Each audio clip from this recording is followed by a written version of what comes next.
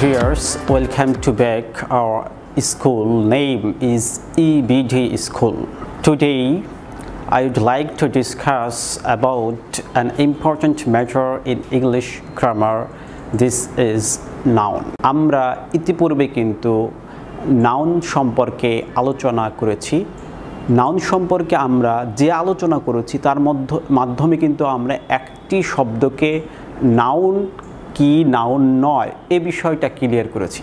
অর্থাৎ, তোমরা যদি আমার ফার্স্ট ভিডিওটা দেখো, সেখানে আমি দেখিয়েছি যে একটি শব্দকে আমরা কীভাবে আইডেন্টিফাই করব it is noun or not এখন, যদি তুমি একটি শব্দকে নাউন হিসেবে আইডেন্টিফাই করতে পারো, তখন কিন্তু আরেকটি কোশ্চেন অ্যারাইজ হয়ে যায়। সেই কোশ্চেনটি হচ্ছে যে যে শব্দটি তুমি নাউন আইডেন্টিফাই করলা, এই শব্দটা কি কাউন্টেবল অর আনকাউন্টেবল নাউন কেন? নাউনের ভিতরে অনেকগুলো প্রকার আছে, কিন্তু আমাদের basically countable and uncountable noun অনেক গুরুত্বপূর্ণ। কারণটি হচ্ছে, যদি তুমি আর্টিকেলকে কারেকশন করতে চাও এবং ইংলিশ গ্রামারের অন্য অন্য বিষয়গুলো এর সাথে জড়িত আছে, অর্থাৎ একটি শব্দকে তুমি তুমি কাউন্টেবল এবং আনকাউন্টেবল এটা তুমি নির্দিষ্ট না করতে পারো, না বুঝতে পারো, তাহলে কিন্তু তুমি আর্টিকেলের ব্যবহারটাও পারবে না।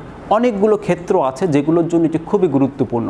এজন্য আমি আজকে এই নাউনের যে দুটি প্রকার আছে, অর্থাৎ কাউন্টেবল এবং আনকাউন্টেবল নাউন এটি সম্পর্কে ডিটেলস একটা আলোচনা করব এবং তোমরা এর মাধ্যমে একটি নাউনকে আইডেন্টিফাই করতে পারবা যে এটা কি কাউন্টেবল অথবা আনকাউন্টেবল এখন আসলে কাউন্টেবল কি আর আনকাউন্টেবল কি? এটা একটু আমরা বুঝে নিই। কাউন্টেবল হচ্ছে, ধরো, এই যে আমি লিখলাম কাউন্টেবল কাউন্টেবল মানে কি? যে নাউনকে এক, দুই, অর্থাৎ নিউমেরিক ওয়ার্ডে তুমি গণনা করতে পারো। যেমন মার্কার এটাকে তুমি গণনা করতে পারো। একটি মার্কার দুটি মার্কার এভাবে। এটাকে বলা হয় কাউন্ট অর্থাৎ কাউন্ট করা সিস্টেম এভাবে তুমি কাউন্ট করতে পারো। অনেক জিনিস পৃথিবীর তুমি কাউন্ট করতে পারো। আর আনকাউন্টেবল হচ্ছে যেগুলোকে তুমি পরিমাণ করতে পারো হয়তো বা কিন্তু তুমি এক, দুই, তিন এভাবে গণনা করতে পারো না। ধরো, আমি বলি যে ওয়াটার এটাকে আমরা কি বলি? যে আমরা একটি, দুইটি ওয়াটার এর, এরকম কিন্তু কোনোভাবেই সেন্টেন্স হয় না। আমরা বলি এক লিটার অথবা এক গ্লাস আর গ্লাস অফ ওয়াটার এরকম ভাবে আমরা বলে থাকি। তাহলে বিষয়টি কি দাঁড়াল? যে এটাকে কিন্তু আমরা কাউন্ট করতেছি না, গণনা করতেছি না, কিন্তু এটাকে মেজার করতেছি, পরিমাপ করতেছি। তাহলে বিষয়টি হচ্ছে, যাকে তুমি গণনা করতে পারবে না, সংখ্যা দিয়ে, অর্থাৎ এক, দুই, তিন, এভাবে এটাকে বলা হবে আনকাউন্টেবল নাউন আর যে নাউনকে তুমি এক, দুই, তিন এইভাবেই করে গণনা করতে পারবে, তাকে বলা হবে কাউন্টেবল নাউন এখন আসো, যে পৃথিবীরতে বা আমাদের গ্রামারে যে নাউনগুলো আছে, যে নামগুলো আছে, এগুলোর ভিতরে কোনগুলোকে আমরা গণনা করতে পারি না? অসংখ্য নাম আছে। কারণ আমরা কীভাবে আইডেন্টিফাই করব যে এটা গণনা করা যায়, এটা চায় এর জন্য আমি বারো ক্যাটাগরির নাউন নিয়ে আসছি, যে নাউন গণনা করা যায় না। এই বারো ক্যাটাগরি বাদে পৃথিবীতে যত নাউন আছে তুমি যতগুলো শব্দ নাম পাবে, সবগুলোকে কিন্তু তুমি গণনা করতে পারবে। তাহলে আজকের এই যে টেকনিক সিস্টেম এটি কিন্তু তোমার মনোযোগ সহকারে দেখতে হবে এবং নোট করে নিতে হবে। আজকে আমি বারো ধরনের নামের কথা বলব, যে নামগুলোকে কোনোভাবেই গণনা করা সম্ভব হয় না। কিন্তু এটাকে মেজারমেন্ট বা পরিমাণ বা একটা আকার দিয়ে বোঝানো যায় তার পরিমাপ সম্পর্কে বা পরিমাণ সম্পর্কে এরকম আইডিয়া দেওয়া যায় বাট এক দুই করে গণনা করা যায় না। সেগুলো কি কি? আসো দেখে নেই যে সে নাউনগুলো কী কী রয়েছে। এক নম্বরে আসছি ফ্লুইডস ফ্লুইডস অর্থ হচ্ছে তরল পদার্থ। যে তরল পদার্থগুলো আছে, তরল পদার্থ। যেমন ধরো পানি, এটা তরল পদার্থ। তেল, এটা তরল পদার্থ। এরকম যতগুলো আমরা যদি বলি ওয়াটার মিল্ক মিল্ক তরল আমরা জানি। এরকম যতগুলো তরল পদার্থ আছে, এগুলোকে আমরা ফ্লুইডের কাটারে ফ্লুইডের ভিতরে নিয়ে আসব। তাহলে ওয়াটার বলতে পারি মিল্ক বলতে পারি, এরকম অসংখ্য নাউন রয়েছে যেগুলো তরল পদার্থ অয়েল বলতে পারি। এরপরে দ্বিতীয় হচ্ছে গ্যাসেস গ্যাসেস বলতে বোঝায় বায়বীয় পদার্থ। যেগুলোকে কিন্তু আমরা দেখতে পাই না, কিন্তু অনুভব করতে পারি। এগুলোকে কাউন্ট করার কোনো প্রশ্নই আসে না। যেমন আমরা বলি হাইড্রোজেন, অক্সিজেন, নাইট্রোজেন, এই গ্যাসের নামগুলো। এটাকে আমরা কখনো বলি না যে আমার পাঁচটা হাইড্রোজেন দরকার বা অক্সিজেন দরকার? এটা কিন্তু অবাস্তবিক লাগে। কোনোভাবেই কিন্তু যায় না। তাহলে এগুলোকে আসলে কাউন্ট করা যায় না। এই জন্য এগুলোকে বলা হয় আনকাউন্টেবল তাহলে এগুলো দেখলাম গ্যাসীয় পদার্থ। যেগুলো গ্যাসীয় পদার্থ আছে সেই গ্যাসীয় পদার্থগুলো, যেমন হাইড্রোজেন, নাইট্রোজেন, অক্সিজেন, এই শব্দগুলোকে আমরা বলব আনকাউন্টেবল এরপর হচ্ছে ন্যাচারাল ফিনোমিনা অর্থাৎ প্রাকৃতিক বিষয়গুলো। প্রাকৃতিক বিষয়গুলো বলতে কি বোঝায়? প্রকৃতির যা ঘটে, যেরকম অন্ধকার, তারপর হচ্ছে আলো এরকম যে প্রাকৃতিক যে হিট আমরা বলি প্রচণ্ড হিট হচ্ছে কুল ঠান্ডা, এই, এইগুলো, এগুলো প্রাকৃতিক বিষয়। এগুলোকেও গণনা করা সম্ভব নয়। আমি কখনোই এরকম বলতে পারি না যে আমার তিনটে ঠান্ডা লাগছে। আমি বলি যে আমার ভীষণ ঠান্ডা বা অনুভাবে প্রকাশ করি। এটা কিন্তু কখনো বলা সম্ভব নয়। অর্থাৎ এটা কিন্তু এক, দুই, তিন এভাবে বলাটা সম্ভব নয়। এরপর হচ্ছে material too a small to be counted অর্থাৎ পদার্থ এতই ক্ষুদ্র যে এটাকে কোনোভাবেই গণনা করা সম্ভব না গণনা করা শুরু করতে গেলে দিন রাত শেষ হয়ে যাবে কিন্তু এটা গণনা করে কোনো রেজাল্ট বের করা যাবে না। এমন পদার্থগুলো কী কী আছে? ধরো আমরা যে বলি সল্টের কথা বলতে পারি। যেমন লবণ। এটি এতই ক্ষুদ্র যে এটাকে আসলে গণনা করা যায় না। আমরা রাইসের কথা বলতে পারি, ভাত। এটা এতই ক্ষুদ্র যে এটাকে গণনা করা কখনোই সম্ভব নয়। স্যান্ডের বালুর কথা বলতে পারি।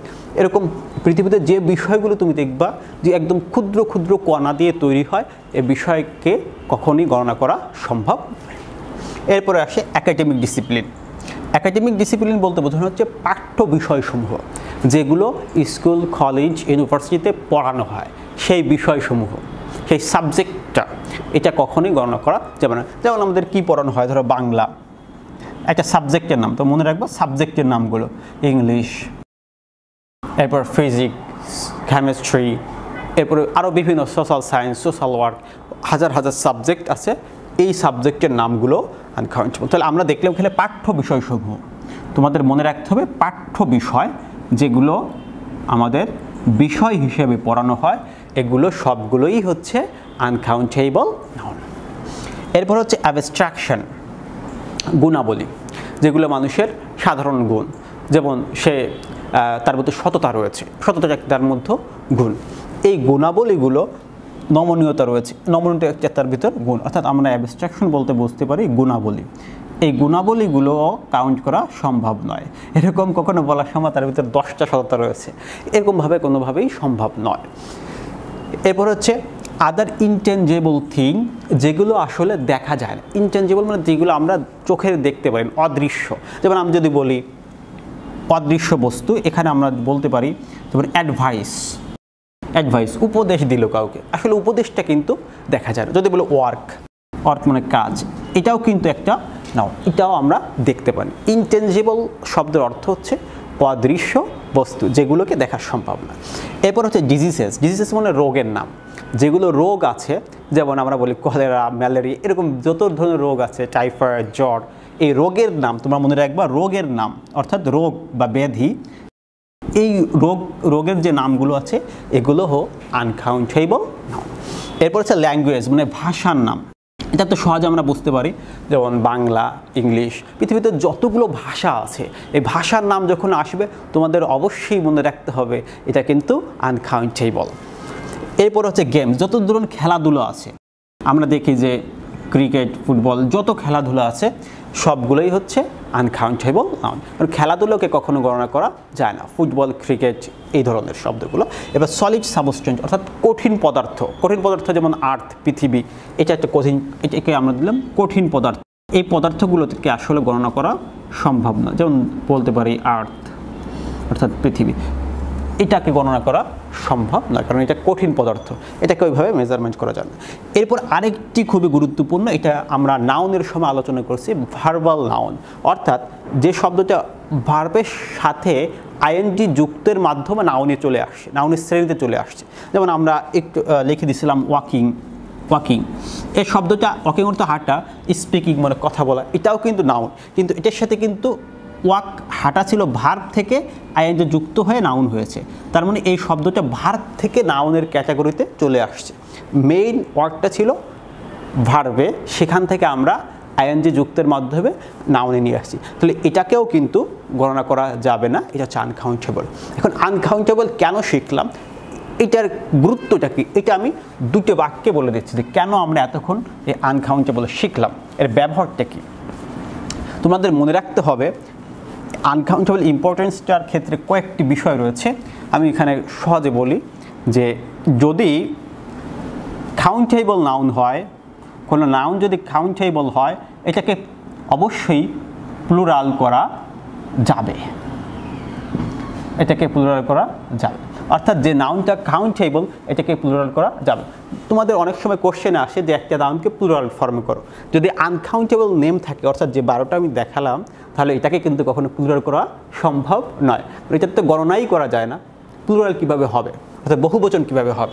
তাহলে আমরা এখানে দেখতে পারি আনকাউন্টেবল আনকাউন্টেবল নাউনকে একে প্লুরাল করা যাবে না। এটা মনে রাখতে হবে। অবশ্যই এটা খুবই গুরুত্বপূর্ণ যে কাউন্টেবল নাউনকে প্লুরাল ফর্মে নিয়ে আসা যায় এবং আনকাউন্টেবল নাউনকে কখনোই প্লুরাল ফর্মে নিয়ে আসা সম্ভব নয়।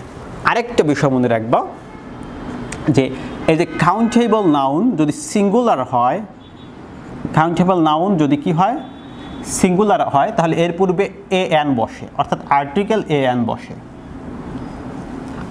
কাউন্টেবল নাউন যদি সিঙ্গুলার হয় তাহলে আর্টিকেল এ এন বসাতে হয়। বসে। তাহলে কিন্তু আমাদের যদি আর্টিকেলকে ঠিক করতে হয়, তাহলেও কিন্তু আমাদের এই কাউন্টেবল এবং আনকাউন্টেবল নাম্বার নাউন সম্পর্কে ভালো একটি ধারণা থাকতে হবে। আর নেক্সট যে কথাটা, এটা হচ্ছে যদি আনকাউন্টেবল হয় নাউনটি যদি আনকাউন্টেবল হয়, তাহলে এর পূর্বে আর্টিকেল আর্টিকেল আর্টিকেলটি বসে না। তাহলে আমরা এখানে কাউন্টেবল আনকাউন্টেবল নাউন চেনার পরে এই চারটি বিষয়কে আমরা মনে রাখব। তাহলে আমাদের ইংলিশ গ্রামারে যে সচরাচর যে ভুলটা হতো নাউনের ক্ষেত্রে এবং আর্টিকেল ব্যবহারের ক্ষেত্রে, এটা কিন্তু আর হবে না। তাহলে পরবর্তীতে আমরা এ সম্পর্কে আরও বিস্তারিত আলোচনা করব।